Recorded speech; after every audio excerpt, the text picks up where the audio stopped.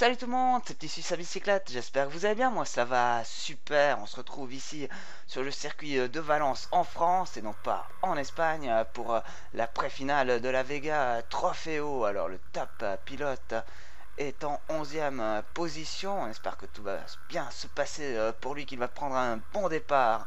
Quant à la top pilote, elle est juste quelques places derrière, en 14e place. Vous avez pu le voir sur la vidéo précédente, elle a été bousculée dans le deuxième virage. Alors on espère qu'elle pourra éviter euh, l'accrochage. Alors moi je vous laisse découvrir cette euh, course et je vous dis euh, à tout bientôt pour la suite. Allez c'est parti, go go go